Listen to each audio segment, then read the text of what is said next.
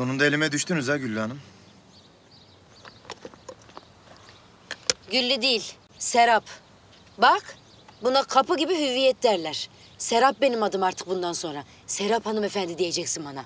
Demek sonunda muradına erdin. Uzatma tamam.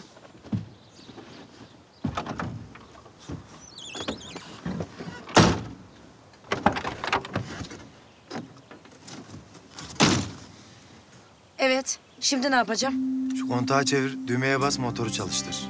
Kontak hangisi? Şu anahtar. Tamam, marşı yakacaksın.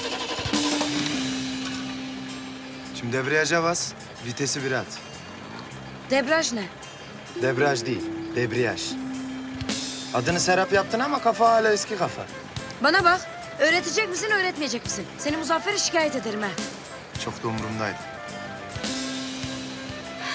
Nerede o dediğin debraj? Soldaki.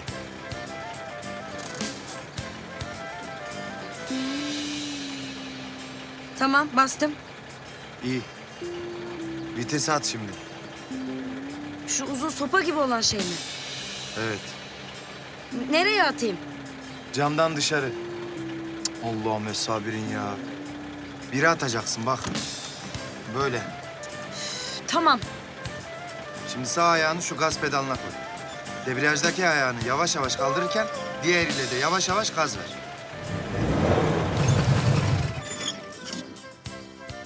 Durdu bu. E durur tabii. Ben sana demedim mi debriyajdaki ayağını yavaş yavaş kaldır diye. Çevir kontağı şimdi tekrar. Tamam. Vites boşta mı? Ne bileyim ben?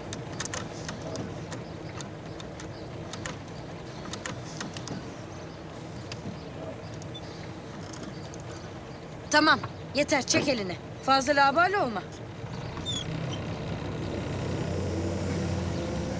Elim elime değdi diye bakıyorum da yaprak gibi titriyorsun. Hiç de bile. Araba sürüyorum diye heyecanlandım ben. Gidiyor. Hadi kabul et. Seviyorsun beni hala değil mi? Ağzını topla. Ha, evli bir barklı bir kadınla konuştuğunu unuttun herhalde. Bırak şimdi lafı dolandırmayı. Seviyor musun, sevmiyor musun? Onu söyle. Hayır sevmiyorum. Yalan söylüyorsun. Hayır sevmiyorum. Yalan söylüyorsun dedim. Hayır senin neyini seveceğim be? Hatta nefret ediyorum ben senden. Ee, frene bas. Ha? Frene bas. Hangisi? Ortadaki. Hangisi? Ortadaki çarpacaksın. Bas frene.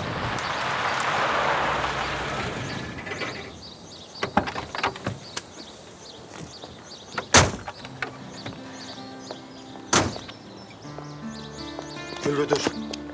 Bırak beni. Özür dilerim Gülbe. İstediğin bu değil mi? Ha? Benim canımı acıtmak. Aferin başardın işte. Hayır. Sana acı çektirmek falan istemiyorum. Senin ağladığını bile görmeye dayanamıyorum ben.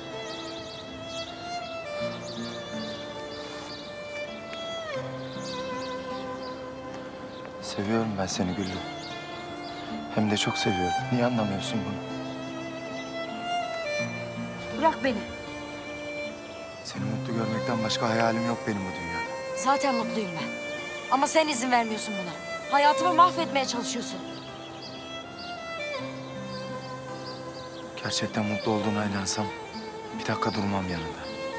Muzaffer'i sevdiğini, onunla mutlu olduğunu gördüğüm an çeker giderim. Göreceksin o zaman. Madem kendine eziyet etmek istiyorsun, sen bilirsin.